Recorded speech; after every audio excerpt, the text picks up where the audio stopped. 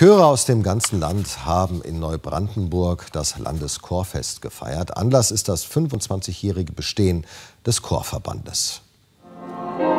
Insgesamt 1500 Sänger und Sängerinnen begeisterten auf zwei Bühnen das Publikum. Trotz der auch bei den Chören spürbaren Alterung der Bevölkerung verzeichnet der Landeschorverband sogar eine leichte Steigerung bei seinen Mitgliedern. Aus Sicht des Verbandes wird mit dem 25-jährigen Jubiläum eine Erfolgsgeschichte gefeiert. Dadurch, dass Gesang eben auch immer etwas generationsübergreifendes hat, finden sich eben auch sehr viele neue spannende Formen von Chor und Chormusik.